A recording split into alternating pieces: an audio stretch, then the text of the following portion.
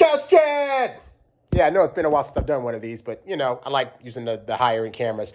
What's up, guys? So I want to talk to you guys today about something. You know, I talk a lot on this channel about things that you could be doing to better yourself as a guy as it relates to getting better with women, knowing how to talk to them, knowing, you know, what you need to be doing better on your end of things to make sure that you show up in the right way, which kind of correlates with what I'm talking about today. So I, I was thinking about this today, right? You know, if you guys let's follow music, you know, like Cardi B and Offset, they are recently getting divorced. And so Cardi is divorcing Offset because he's been cheating since like they got into a relationship practically, right? But it's interesting what she said, what she said that she filed for the divorce because uh, they got married and they I think they've been married for like six or seven years or been together for that long. And she said every single month they've been together, he has been cheating on her, right? And so I got to thinking, she knew he was cheating every single month for the six or seven years they were together. And yet, and yet, not only did she stay with him, but she agreeingly had three kids with him. She's pregnant with the third kid now, and they're getting divorced while she's pregnant, right? So I thought about that, and then I thought about uh, Jay Z and Beyonce. Well, Jay Z years ago cheated, and Beyonce has stayed with him. And th- to me, that was no shock when that happened, the, the, the cheating part, because Jay Z and his songs prior to them getting together was all about I'm taking this other guy's chick. I'm I have mul- I have a main chick, a mistress, and I have a young chick, a mistress, and a main chick on my side. Like he was saying that in songs that we all heard and that Beyonce heard, and she still got with him, and then he cheated, Oh my God, we're so shocked. How could he? Beyonce's so fine. What the?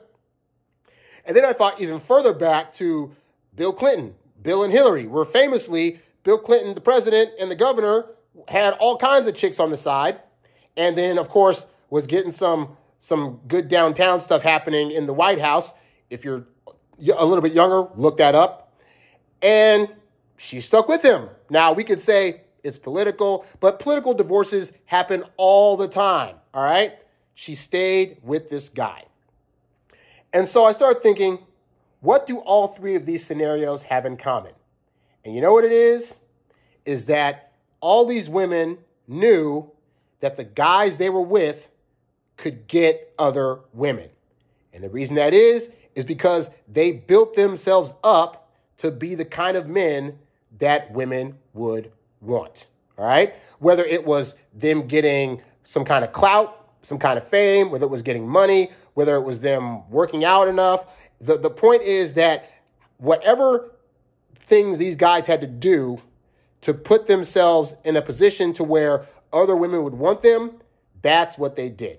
And I'm pointing this out now in particular because, you know, sometimes my channel, I'll have guys in the comments say things like, well, you know, the thing that you're saying for guys to do, Harry, they wouldn't have to do if they were an alpha chad or if they were a guy that a woman would just automatically want, then it would bypass them having to do these things. And you know what? For all those commenters, I just want to say you are 100% correct. I fully believe that same thing too, that if you already have women's interest, you're going to get away with a lot more stuff for a longer period of time. Now, that does not mean that you forego learning dating skills, relationship skills, communication skills, etc. Because who you are, if you build yourself up, can only take you so far. But even if you built yourself all the way up to be the kind of guy that women just automatically want, you can still mess that up. Like that's very possible. But I don't want to ignore that part of it too. Is that you need to be doing as much as you can to be able to put yourself in a position to where you have to do the least amount of work to get women. Okay? And so, what does this mean? It means a few things. It means, for one, working on your appearance, working on how you dress. If you have a certain kind of style about you, then yes, you're going to stick out like a sore thumb in a good way, and women are going to want to inquire more about you and come up to you. Also, also, building up your muscle, working out of the gym, being good looking.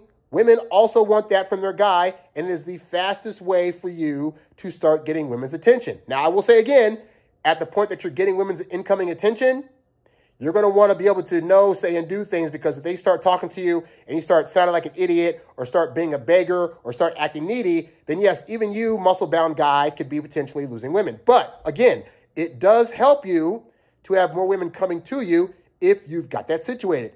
Also, your lifestyle. Women are they're buying into you and your personality, but they're also buying into your lifestyle. They're trying to look at you and say, could I envision myself being a part of this guy's lifestyle? And if that answer is no, then, or if it's going to be one of those where it's like, well, I could join it, but there's going to be a bit of a struggle there, you can also lose out on some of these women. So, yes, it does behoove you to try to figure out how to maximize your, your money making abilities. It does behoove you to try to get a, a your own place and try to make it look as good as possible. It behooves you to try to get a car and make that look as good as possible. Doing these things, again, I am all for you getting an education in women and how to treat them. But the reality also is that you up your you up your chances of being able to meet women if you have certain things set in place. You work out well, you have a good job, you have money coming in, you know how to be sociable. These are things that if a woman just looks at them, if you go to a party, for example, and you're like a guy that all the other girls are seemingly talking to, guess what? You're going to have another girl outside of that roster that's looking like, I want to be part of that roster. How do I know? Because I've had experience. I've gone to parties where I've seen a woman that I wanted to get with and proceeded to spend an hour talking to every other woman that was there before talking to her. And then when I finally did talk to her, it was easy to get a conversation going, to get her to sit on my lap, to get her to make out with me, to get her to give me the number, and to eventually take her out and do fun, fun things with her at my place, if you get my drift, okay? So, this starts with you knowing what to set up and how to set those things up effectively because realistically, you could be working on yourself. You could be working on your inner self esteem and inner workings of how women are and knowing how to talk to them. But none of that matters if when women first see you, they're not thinking, yeah, I want to talk to him. Yeah, I want to get with him. Oh my God, he's lighting up this room. Like, these are skills that are going to help you immensely to up the chances of you actually getting with the women you want. Yes, you could totally, totally get a woman without having muscles and without uh, having a, a, a job. You could potentially even get women living home with your parents. That can't happen. But you significantly lower your chances of that happening and you lower the quality of woman that you're going to get when you don't do things that are going to allow your roster or the women coming to you to be significantly higher. Okay. So just like, and, and you'll notice too, like I said, just like Jay Z, just like Offset, because people forget with Offset, like people say, oh, Cardi had more of the money.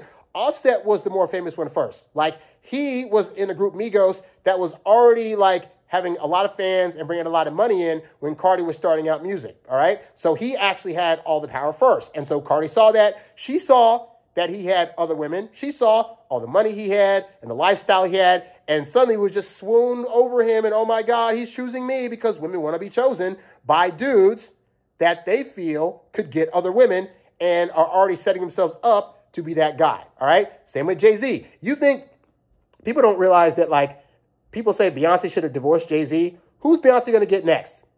As Jay Z once famously said, who's higher than number one? Like, Jay Z got a billion dollars it's going to be hard for Beyonce to go out there and find another billionaire, especially a black one, that's straight, that's going to want to potentially get with her or that she's going to want to get with. She's going to have to go after guys that are lower tier because she also has close to a billion dollars in the bank. Okay. So she set herself up with somebody that had already made himself out to be a winner.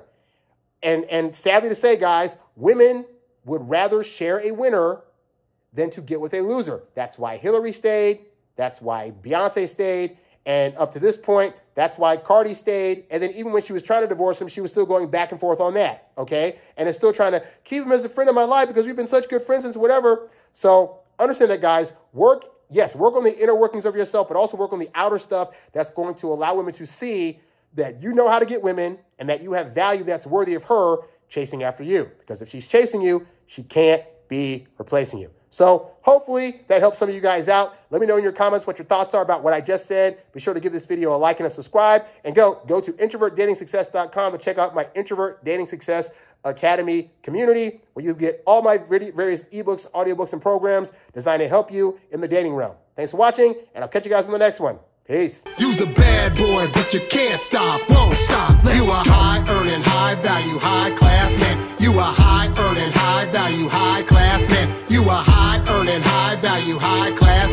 You a high class man. You a high class man. You a